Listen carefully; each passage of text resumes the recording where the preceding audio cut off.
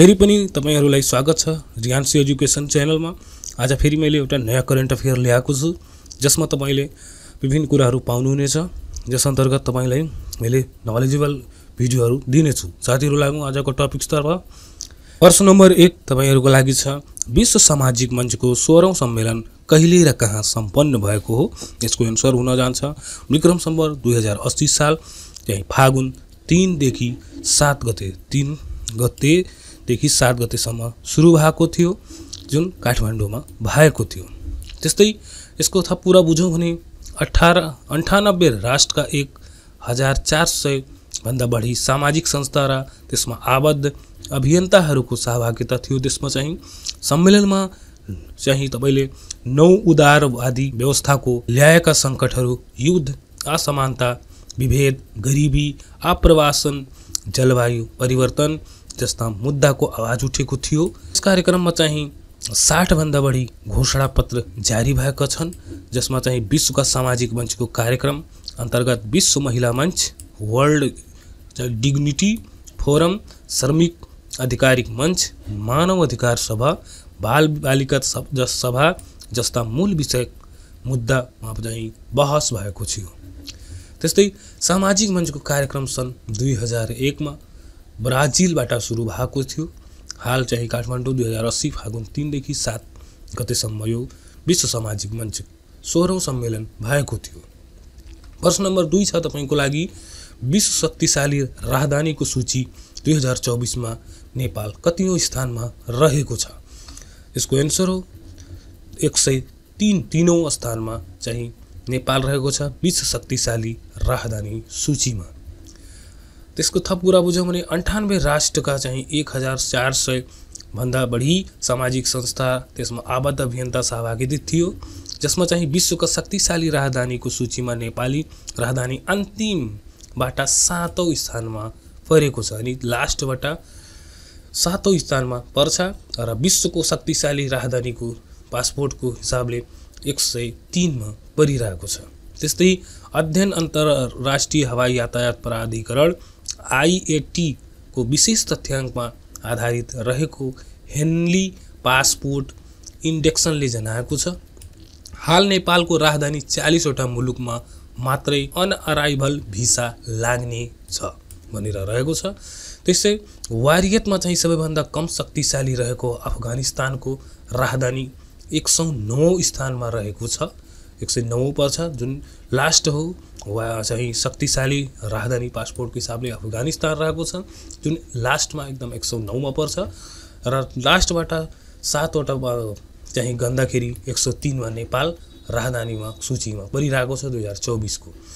र अफगानिस्तानको राजधानीमा चाहिँ अठाइसवटा मुलुकमा मात्रै अनअराइभल भिसा लाग्ने गरेको छ नेपालमा चाहिँ चालिसवटा मुलुकमा अनअराइभल भिसा लागिरहेको छ।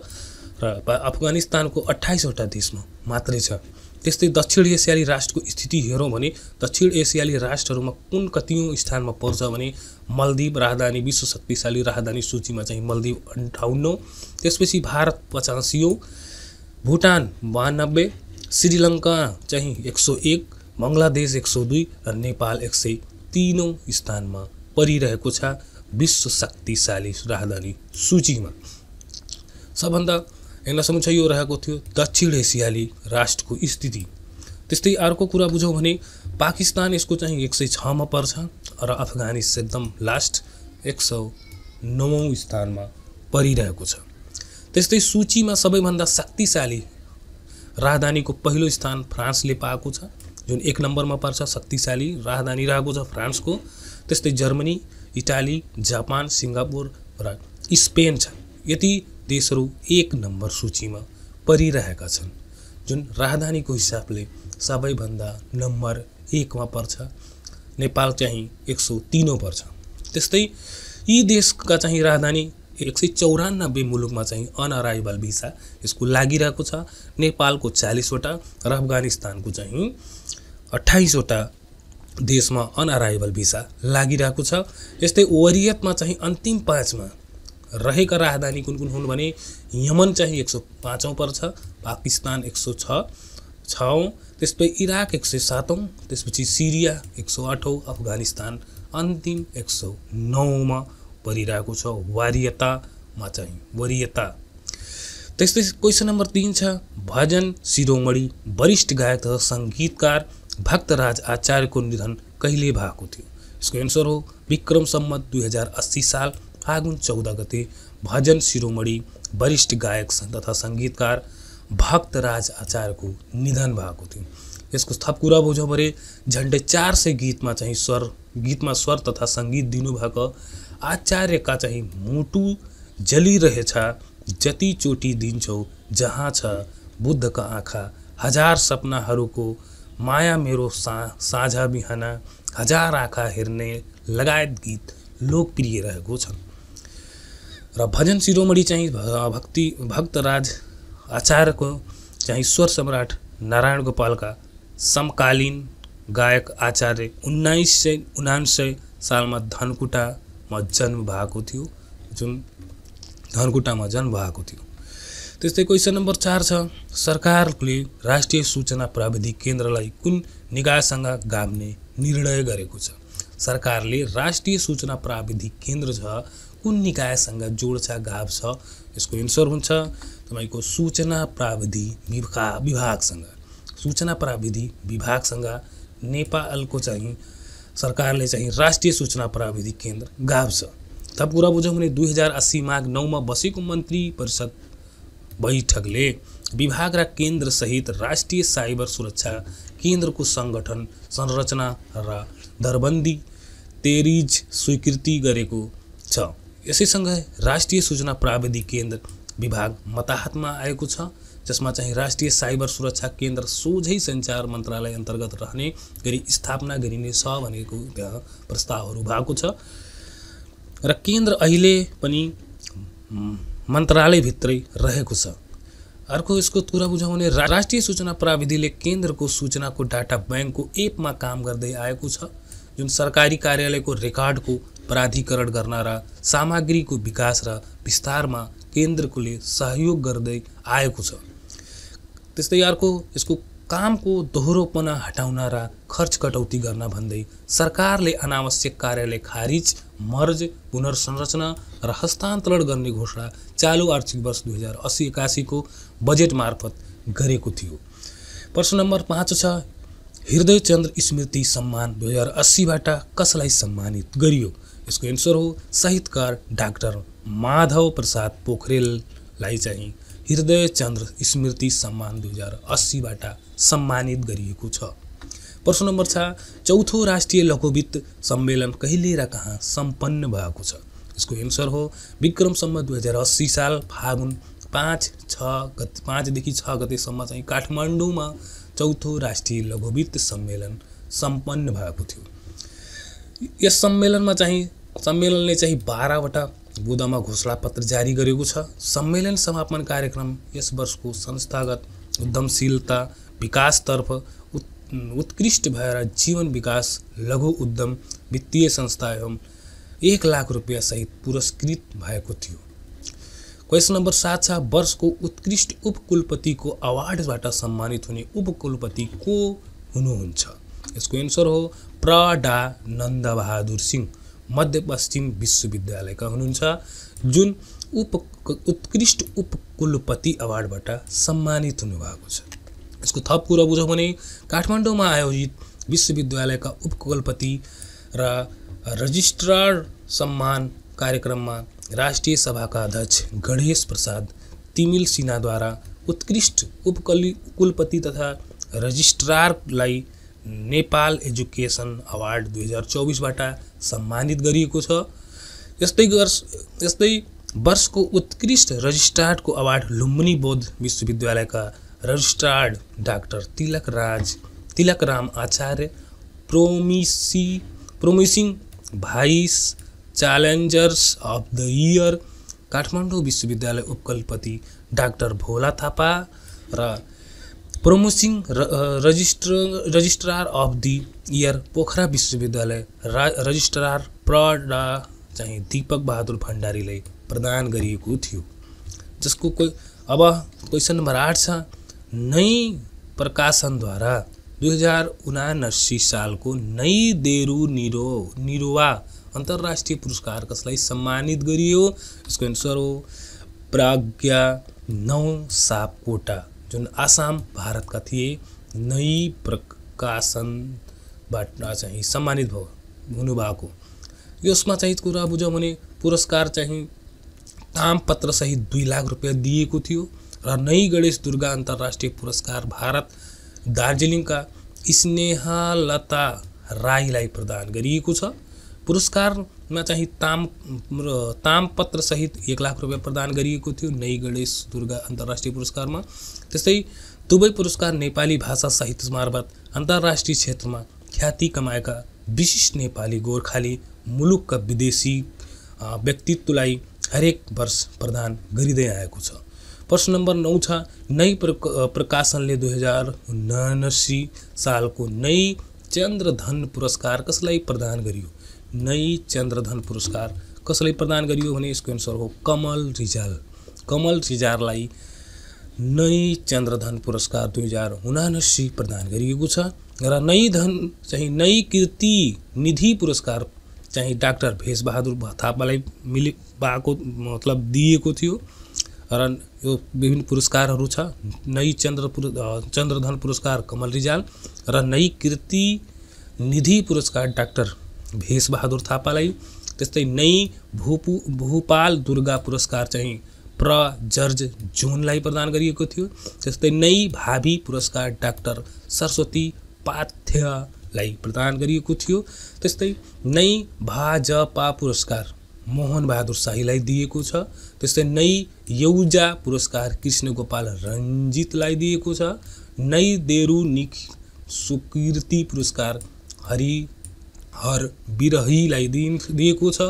त्यस्तै नै धन्या पुरस्कार विश्व प्रेमी प्रेम बहादुर विश्व प्रेम अधिकारीलाई दिएको छ। नै ईश्वर वल्लभ पुरस्कार चाहिँ श्री ओम श्रेष्ठलाई दिएको सबै पुरस्कारको राशि चाहिँ एक एक लाख रुपियाँ रहेको छ सबैलाई। यसको साथसाथै एक लाख रुपियाँ प्रदान छ। प्रश्न नम्बर दस छ दिगो विकास सम्बन्धी एघारौँ एसिया प्रशान्त मञ्चको अध्यक्षमा को निर्वाचित हुनुभएको छ? दिगो विकास एघारौँ एसिया प्रशान्त मञ्चको अध्यक्ष चाहिँ डाक्टर मिनबहादुर श्रेष्ठ निर्वाचित हुनुभएको छ। थप कुरा बुझ्यो भने ब्याङ्क स्थित संयुक्त राष्ट्रसङ्घ अन्तर्गत एसिया तथा प्रशान्त क्षेत्रका लागि आर्थिक तथा सामाजिक परिषदमा सन् दुई हज़ार चौबिस फेब्रुअरी बिसदेखि तेइससम्म आयोजना भएको मञ्चको बैठकबाट राष्ट्रिय योजना आयोग उपाध्यक्ष श्रे, उपाध्यक्ष श्रेष्ठ निर्वाचित छ। श्रेष्ठ भन्नाले मिनबहादुर श्रेष्ठले निर्वाचित हुनुभएको छ। त्यस्तै मित्र राष्ट्र जापानले चाहिँ उपाध्यक्ष श्रेष्ठलाई मञ्चको अध्यक्ष चयन गर्न प्रस्ताव गरेको थियो भने बङ्गलादेश श्रीलङ्काका प्रतिनिधिले समर्थन गरेका थिए। यो एसिया तथा प्रशान्त क्षेत्रका लागि आर्थिक तथा सामाजिक परिषदमा त्रिपन्न सदस्य राष्ट्र तथा नौवटा अन्य संस्था आबद्ध छन्। यस चाहिँ दिगो विकास एघारौँ एसिया प्रशान्त मञ्चमा। प्रश्न नम्बर एघार छ त्रिभुवन विश्वविद्यालयको उपकुलपतिमा कसलाई नियुक्त गरियो? त्रिभुवन विश्वविद्यालयको उपकुलपतिमा कसलाई नियुक्त गरियो भने यसको एन्सर हो प्रडा केशरजङ बराल। केशरजङ बराल हाल चाहिँ त्रिभुवन विश्वविद्यालयको उपकुलपति हुनुहुन्छ। विक्रमसम्म दुई हजार अस्सी फागुन दसमा चाहिँ प्रडा बराललाई उपकुल कुलपति पदमा नियुक्त गरिएको छ। दुई हजार अस्सी फागुन दसमा यो नियुक्ति हुनुभएको त्यस्तै चाहिँ वराटनगर विराटनगर हो सरी यो विराटनगरबाट अध्यापन सुरु गर्नुभएका बराल चाहिँ दुई हजार चौसठी साल पोखरा विश्वविद्यालयको उपकुलपति बन्नुभएको थियो र हाल चाहिँ त्रिभुवन विश्वविद्यालयको उपकुलपति हुनुहुन्छ। कहिले भएको भने विक्रमसम्म दुई हजार अस्सी फागुन दस गतेमा। प्रश्न नम्बर बाह्र छ संयुक्त राष्ट्रसङ्घीय शान्ति मिसनमा सहभागी उन्नाइसौँ राष्ट्रिय सैनिकको संयुक्त सैन्य अभ्यास कहिले सुरु भएको हो? यसको एन्सर हो, विक्रम हज़ार अस्सी फागुन आठ गति गतेदेखि चाहिँ। संयुक्त राष्ट्रिय राष्ट्रसङ्घीय शान्ति मिसन उन्नाइसौँ राष्ट्र सैनिक चाहिँ, अभ्यास सुरु भएको थियो। चाहिँ, सञ्चालन मिति विक्रमसम्म दुई हज़ार अस्सी फागुन आठदेखि एक्काइस गतेसम्म हुनु भएको संयुक्त सैन्य अभ्यास कार्यक्रमको उद्घाटन प्रधानमन्त्री पुष्पकमल दाहाल प्रचण्डद्वारा गरिएको छ। त्यसै नेपालको यसअघि चाहिँ, सन् दुई हज़ार दुई, सन् दुई हज़ार तिन दुई हज़ार सात दुई हज़ार सत्र यसमा चाहिँ, यस अभ्यासका तिनवटा संस्करण संचालन सञ्चालन गरिएको छ। संयुक्त राष्ट्रसङ्घको कार्यदेश अनु, अनुएप विश्वका विभिन्न द्वन्द्वग्रस्त क्षेत्रमा चाहिँ शान्ति स्थापना अर्थ खटिँदा शान्ति सैनिक बीच चाहिँ, एक आपसमा पारस्परिक सम्बन्ध तथा व्यावसायिकता अभिवृद्धि अभ्यास फलदायी हुने विश्वास यो अभ्यासबाट। संयुक्त अभ्यासमा नेपालसहित उन्नाइस राष्ट्रका एक हज़ार एक सय पच्चिसजना सुरक्षाकर्मी सहभागी रहेका प्रश्न नम्बर उन्नाइस छ, पहिलो पुरुष अन्तर्राष्ट्रिय पर्यटक डेनिस टिटो हुन् पहिलो महिला अन्तर्राष्ट्रिय पर्यटक को हुन्? पहिलो चाहिँ पुरुष अन्तर्राष्ट्रिय पर्यटक डेनिस टिटो हुन् पहिलो चाहिँ महिला अन्तर्राष्ट्रिय पर्यटक को हुन्? यसको एन्सर हो अनुसेह अन्सारी अनुसेह अन्सारी महि चाहिँ पहिलो महिला अन्तर्राष्ट्रिय पर्यटक हुन्। त्यस्तै नेटुवा जातिको बसोबास कहाँ रहेको छ? नेटुवा जातिको बसोबास कपिल वस्तुमा रहेको छ जुन यहाँ मैले मिस्टेक भएको थियो। कपिल वस्तुको शुद्धोदन गाउँपालिका रहेको छ यो तपाईँहरू बुझ्नु होला नेटुवा जाति रहेका छन्। संसारको ठुलो सर्प कहाँ फेला पारेको छ भने अमेजन जङ्गलमा चाहिँ संसारको सबैभन्दा ठुलो सर्प पत्ता लागेको छ। अब को हो भने उत्तरी हरित एनाकोन्डा एनाकोन्डा प्रजातिको सर्प चाहिँ शोधकर्ताहरूले चाहिँ हालै फेला पारेका हुन्। ग्रन गरन एनाकोन्डा चाहिँ विश्वको सबैभन्दा वजनदार तथा सबैभन्दा लामो सर्प रहेको छ ग्रन एनाकोन्डा। त्यस्तै यसको कुल लम्बाइ चाहिँ छब्बिस फिट र तपाईँको तौलको कुरा गरौँ भने दुई सय किलोको एनाकोन्डा रहेको छ। त्यस्तै यसअघिसम्म विश्वकै ठुलो सर्प अमेजन जङ्गलमा पाइएको थियो, जुन दक्षिण हरित एनाकोन्डा प्रजातिको सर्प मानिएको थियो, जुन हरित एनाकोन्डा प्रजातिको सर्प थियो। हाल ग्रन एनाकोन्डा रहेको छ। सबैभन्दा ठुलो सर्प, त्यस्तै शोधकर्ता शोधकर्ता चाहिँ अनुसार उत्तरी हरित एनाकोन्डा र दक्षिण हरित एनाकोन्डा उपप्रजातिका चाहिँ एक करोड वर्ष अघि छुट्टिएका थिए त्यस्तै क्वेसन नम्बर तपाईँको लागि। सोह्रौँ छ। सोह्र नम्बर क्वेसन छ तपाईँको विश्वको पहिलो काठको भू भू उपग्रह कुन देशको देशले निर्माण गरेको छ। यसको एन्सर हो जापान। जापानले चाहिँ विश्वको पहिलो काठको भू उपग्रह निर्माण गरेको छ। यसको कुरा बुझौँ भने लिग्रो स्याट नाम दिएको यो उप भू उपग्रह चाहिँ छिटै अमेरिकी रकेटबाट प्रक्षेपण गर्ने जनाइएको छ। प्रश्न नम्बर सत्र हाल पाँच हालै चाहिँ पाँच हजार यानि पाँच हजार पाँच सय पचपन्न किलोको चाहिँ महाघण्टा कहाँ अनावरण गरिएको छ? यसको एन्सर हो सर्वसिद्धि धाम पञ्चकोटको बागलुङमा।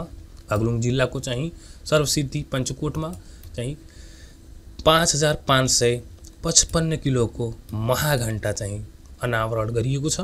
त्यसको चाहिँ अरू थप कुरा विक्रम सम्बन्ध दुई हज़ार अस्सी, फागुन दसमा चाहिँ राष्ट्रपति रामचन्द्र पौडेलद्वारा यस मुक्तिनाथ महाघण्टाको अनावरण गरिएको हो।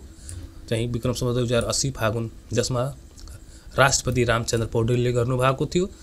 त्यसमा चाहिँ पञ्चधातु मिलेको छ, जस्तै सुन, चाँदी, तामा, पित्तल र फलाम मिसाएर बनाइएको यो घण्टालाई महाघण्टा नाम दिएको महाघण्टालाई पञ्चकोटमा निर्माण गर्न लागि चाहिँ एक सय आठ फिट अग्लो गण्डकी विश्व विश्व शान्ति कलश र निर्माण सम्पन्न भइसकेको हुनाले मूर्ति नजिकै रहेको छ। र प्रश्न नम्बर अठार छ विश्वमा सर्वप्रथम योजनाबद्ध आर्थिक विकासको सुरुवात गर्ने राष्ट्र कुन हो यसको अनुसार हुन्छ रुस रुस चाहिँ विश्वको सर्वप्रथम योजनाबद्ध आर्थिक विकासको सुरुवात गरेको थियो। प्रश्न नम्बर उन्नाइस छ नेपाल चाहिँ भाषा नेपाली भाषाका महाकवि भनी कसलाई चिनिन्छ? यसको एन्सर हो सिद्धिदास आमात्य आमात्यलाई चाहिँ नेपाल भा महा नेपाल भाषाका महाकवि भनिन्छ। त्यस्तै बिस नम्बर छ भारतका चर्चित गजल गायक पङ्कज उदासको निधन कहिले भएको हालसालै पङ्कज उदासको निधन भएको छ? जुन सन् दुई हजार चौबिस फेब्रुअरी छब्बिस तारिकमा पङ्कज उदासको भारतीय गायक पङ्कज उजा उदासको निधन भएको छ। सो यही थियो आजको समसामयिक घटनाहरू। फेरि पनि समसामयिक घटना ल्याउने बाचाको साथ आजको लागि विदा भए। साथीहरू च्यानलमा नयाँ हुन्छ भने च्यानललाई सब्सक्राइब गरिदिनु होला थ्याङ्क यू फर वाचिङ